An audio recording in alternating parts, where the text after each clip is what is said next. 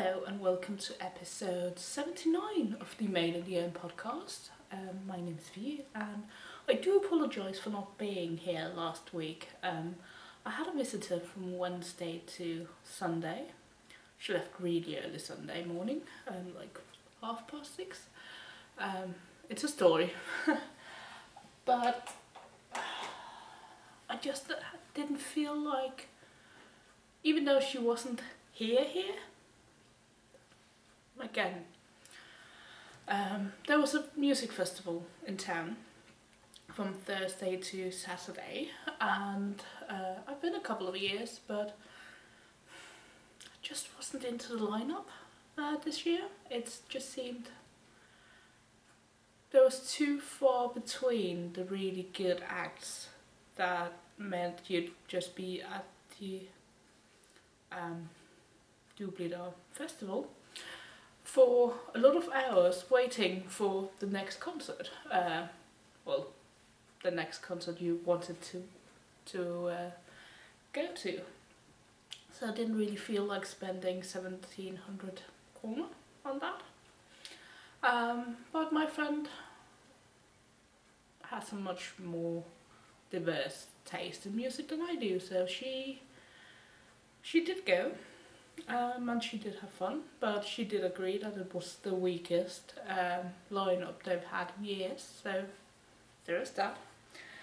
Um, so that meant when I came back from work she wasn't here, but it's like there's this person here who isn't really here and it just threw me off a bit. And to be honest, I had a setback. And I'll show you the setback in just a tiny bit. Um, yeah. So, just didn't feel like recording last week. Uh, that happens, hmm, and I'm sorry. Um, going two weeks before, well, yeah, two weeks before recording does mean that I have something finished. And let's start out with that. Also, I'm not sure about this location. It might be because I shouldn't have worn a white top I feel like I'm sort of floating head and arms on white. Um, we'll work on it. We'll work on it. Anyway, I should turn this right side out. Sorry. Hang on. Doo -doo -doo -doo -doo.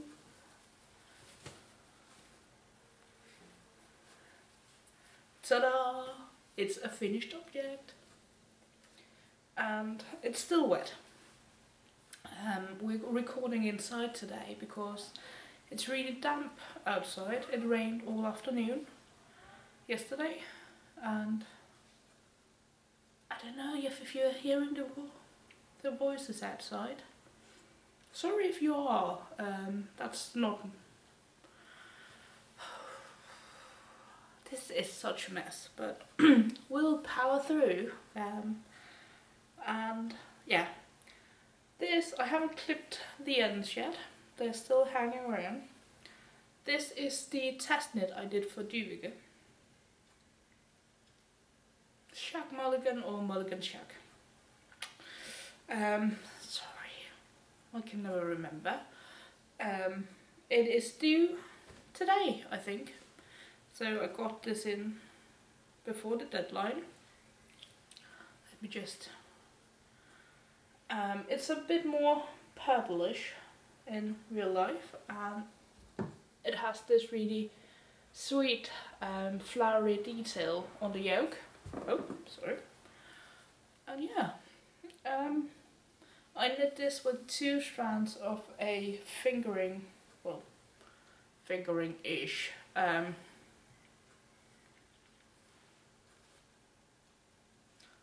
cotton linen blend um, that I got from Garnocell years ago. Um, and I measured uh, out 10 meters of it, I think it was 10 meters, to see what the meterage was and it doesn't match the one they have for cotton linen blend. So I had to invent my own listing. Um, only I didn't. I just put in what my actual yardage was um, per 100 grams and this is 400, uh, 475 grams. And I was going to look up what that meant for Stash Dash, um, how many meters that was, because this is my first finished object for Stash Dash. I know, it started May 25th and it's now June 17th, almost a month later. This is the first thing I finished. But it's something, and I think it's, if I remember correctly, it's 300 something meters per 100 gram. So, you know, decent yardage. I passed the first goal. I think there's a 1k in there, isn't there? Um, so yeah. Need to take photos. Um, hopefully it'll dry. It won't dry in time. I'll have to take photos trying not to look like, hmm, this is wet. It's not wet, it's damp. It's damp. Let's go with damp. But yeah, a finished object. I did I did modify the pattern a bit. Um, well, modified. I shortened it simply because I was running out of yarn. And there was some serious yarn chicken going on at the end. So I was hoping some of it would go out, would that would be longer in wash. Um, it wasn't, but it'll it's it's a nice length to wear with like a high waisted skirt or something, which is something I do own. So I think that's good. It'll be good. It'd be great for weather like this, where it's sunny and then sunny and warm-ish, warmish, and then it rains, but it's still warmish, so you don't want a whole lot of clothes on. Anyway, that's my FO. The next one is the one that I had a bit of a snafu with last week. And let me tell you why. Oh, and the other one, as I said, it's a test knit, it's due today. It's called Blooming Meadow. Um, and I don't know when it'll be released, but just be aware.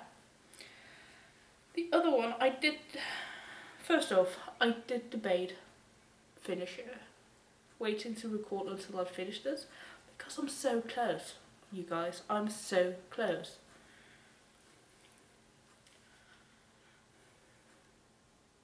I just that sounded wrong. Um, and it's my Levina, which looks tiny. It looks absolutely tiny, but because it's lace, it'll stretch in all directions. Um, and as you can see, I'm on the neck opening and literally I just need to do a few more rows of stockinette and then the edging, which is a um, garter edging, and I'm done. Oh, and I need to sew the alarms, which I think might just be just a three needle bind off. Um, my snafu. I last week I was just short of hair. Um, I was ready to do the stockinette or to switch into stockinette. Um, I had my little sleeves. Uh, you'd already seen my little sleeves. My little sleeves are a little bigger than they were last time. You see, I was knitting this and I haven't gone very far with thinking the lace looks wrong. It looks more squished and not at all like the body. Um, the smart person, which wasn't me, as you can tell, the smart person would have checked the chart, discovered that, oh, I'm doing this completely wrong, and stop knitting and think back to, well, think, ripped back to the underarm bit. I wasn't the smart person. I was the person who kept going and going and going and in the end thought, because because I kept thinking it'll block out. It's just because it's come so tight uh, around here and the other one's been stretched and I had so many excuses. Yeah, so I had to rip back all of this and start over because I was doing just one stockinette round or plaited round between the um, lace rounds. That's not how you're supposed to do it. This is peacock lace. yeah. So I ripped back. I did for one second contemplate not doing redoing the sleeves but just doing the wrong the wrong lace pattern all the way up the sleeve. For one second. And then I thought no it'll annoy me. It'll look completely weird um, and it'll just annoy me.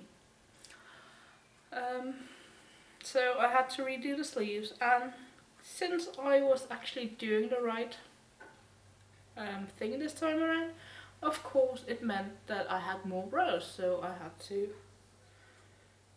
it, it ended up being longer. So yeah.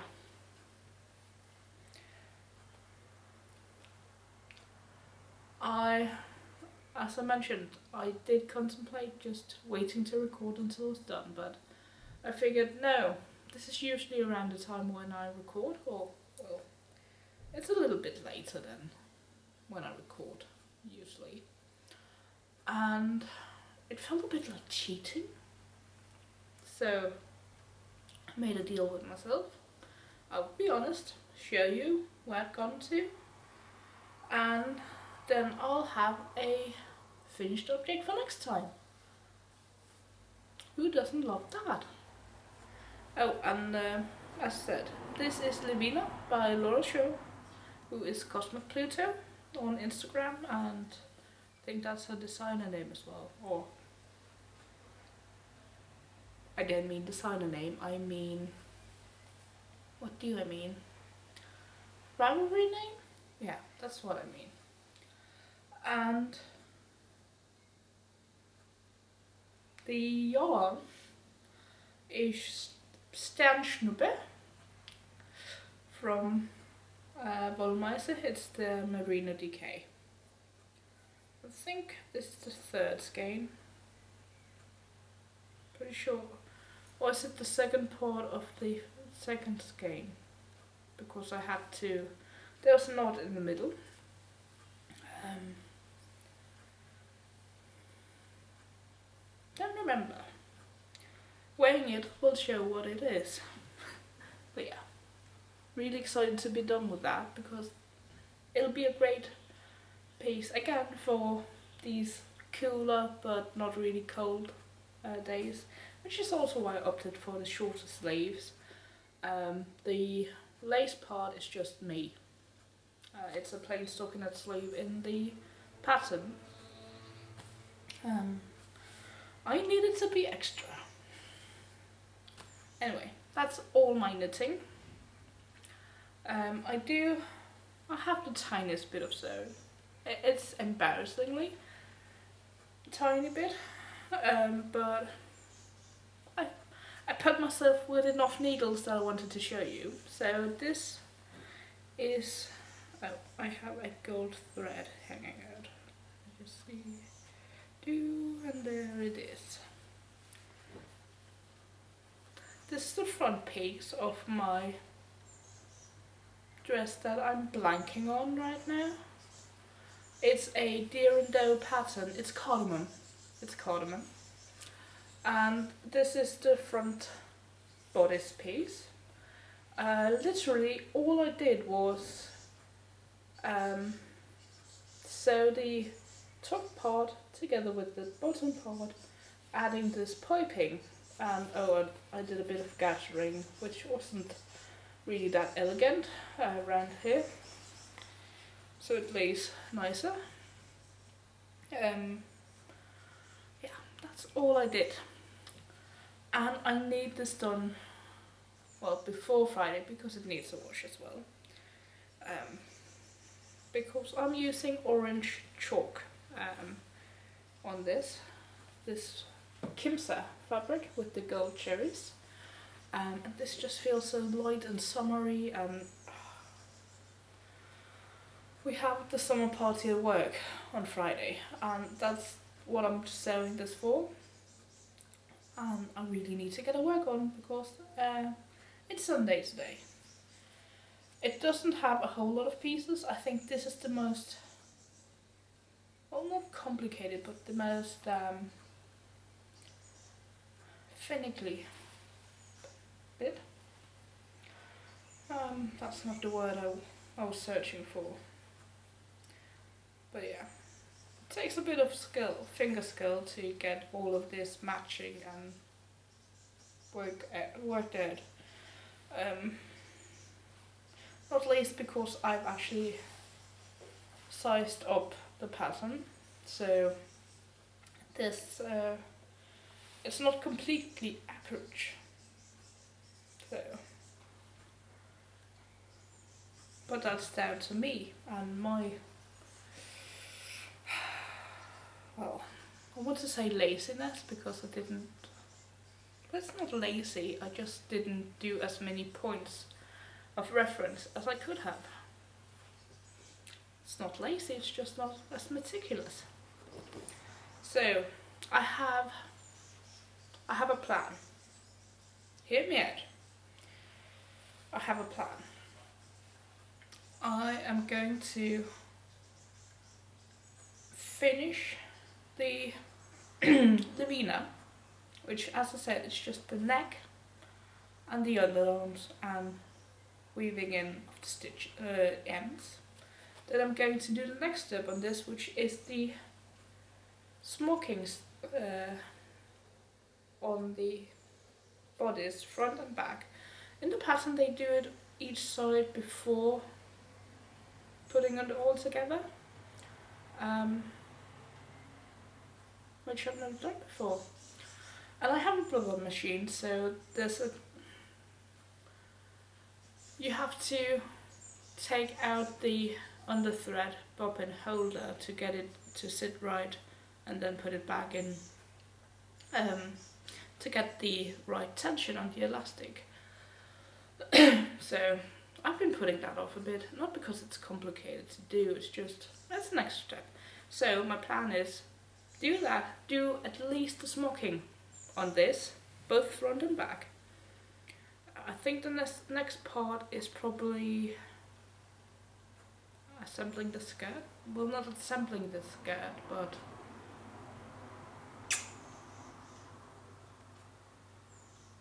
adding the pockets to the skirt. Yeah, that would be it. I'm going to do the, the uh, fronts of that and I did have a thought uh, yesterday when I was doing the piping on this. This is just going to be a... The armholes are just going to be finished with um, not piping but with um, a grosgrain, a ribbon, a ribbon um, to finish off the edges nicely why can't that be done using the piping? So it'll be piping here and on the back of course, piping around, this gold piping around the sleeve edges. Um, which does mean that here at the shoulder it'd be piping close to piping. Hmm, and piping on the pocket because it's um, not an insert pocket but you know if there's a pocket bag and you see so you'll see the piping on the pocket edge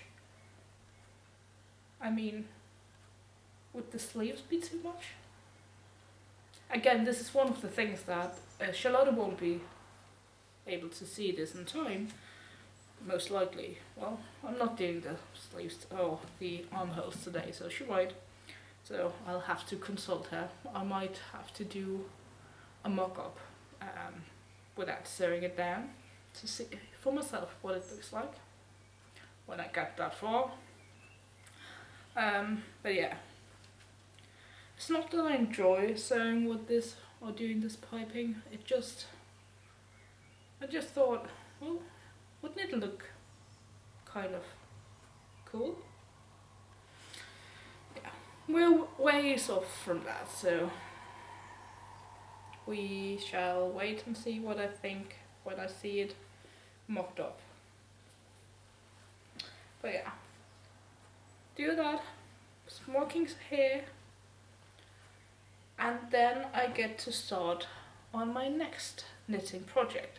I know I still have my um, my slip slide splash socks that two pairs that I need to finish.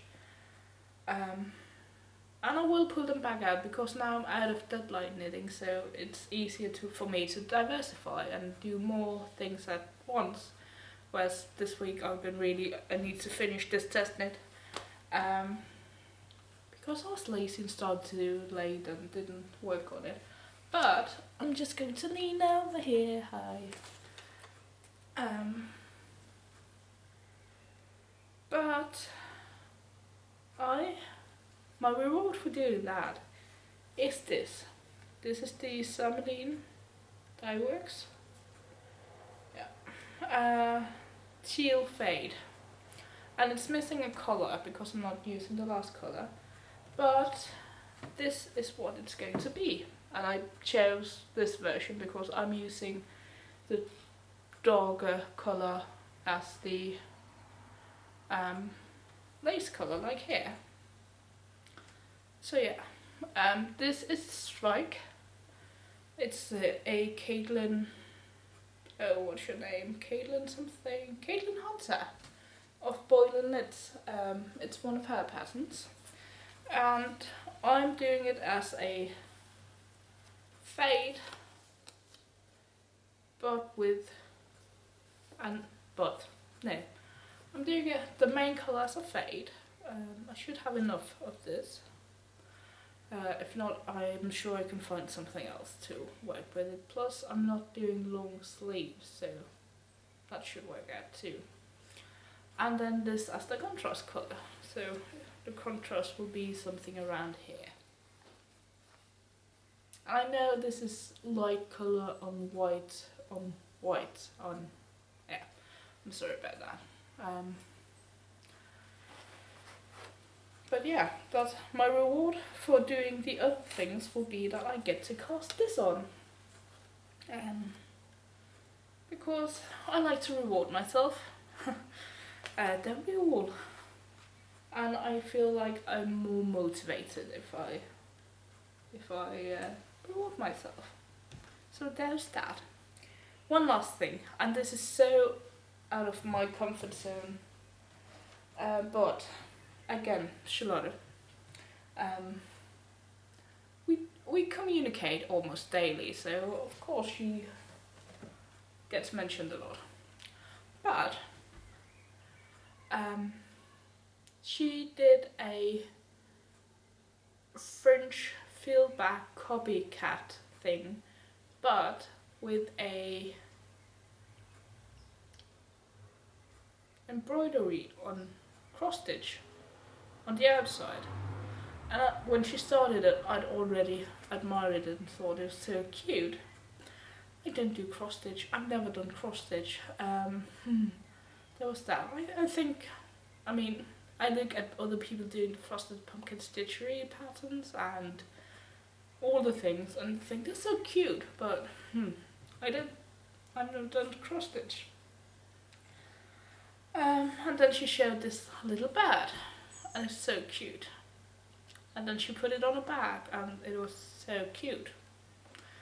And it just so happens that the person who designed uh, this cross stitch actually has a shop here in town.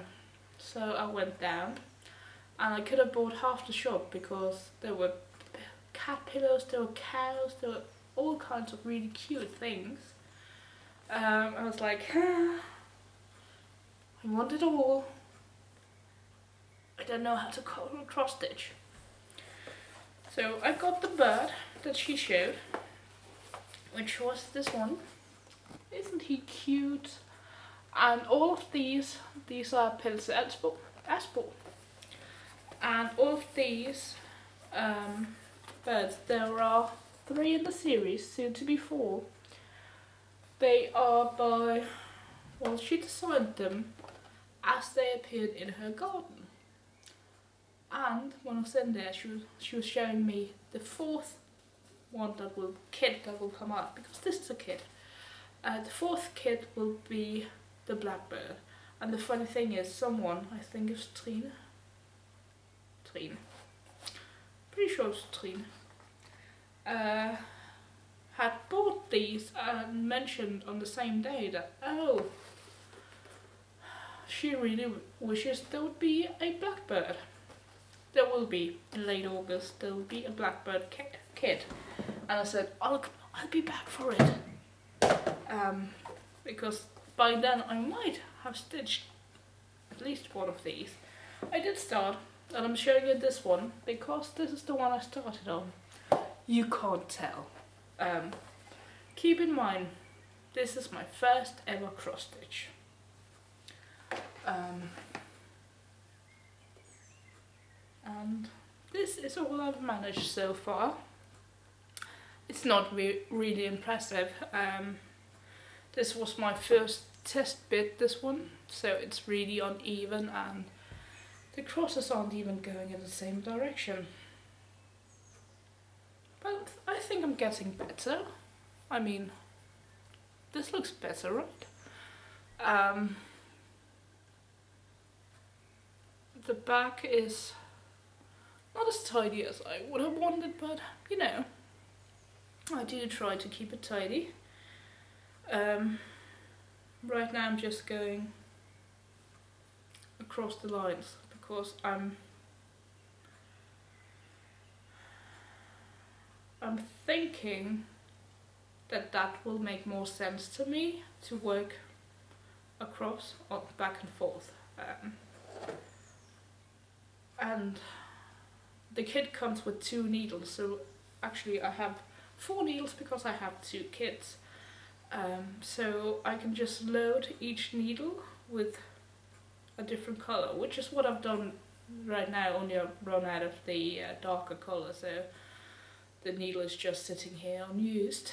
Um, I will say that when I'm doing this, I keep thinking, or remembering, or thinking I'm remembering, that someone has a snap-on thing magnetic where you could just put your needle on that you're not using. That seems clever. That would be so much easier than poking it through. Might have to find out if that's a thing. But yeah, that's everything for this week. Um, and it does seem to me like nothing, but at the same time, it does seem like a lot. A lot of words. So. I promise I will see you next week. Um, I hope you have a great time. Bye.